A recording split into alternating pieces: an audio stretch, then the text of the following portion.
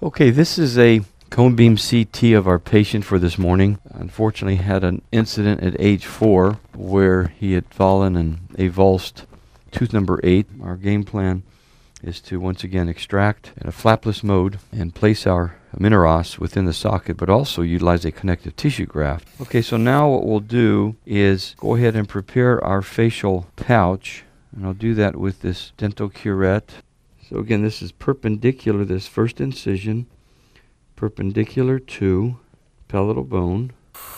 And here we have it. So now we'll introduce our MinerOss with Gem 21, and I'm just using a perio probe to begin to condense this graft as we introduce it to the socket. So now what we're going to do is place our suture in order to secure that. And what I'm going to do is hold my flap up like this and very gently as Bridget just ever so gently pulls on that just a little bit I'm going to feed as you see here the graft into the pouch that we created.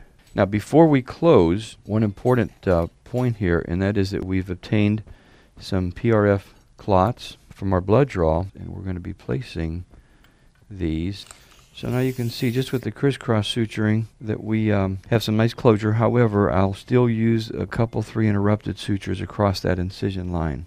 So now you can see we've completed our case and uh, in essence we very conservatively extracted this tooth in a very flapless mode. We were then able to graft that with uh, MinerOss and utilize a pedicle tunnel connective tissue graft harvested from this right hemipalate.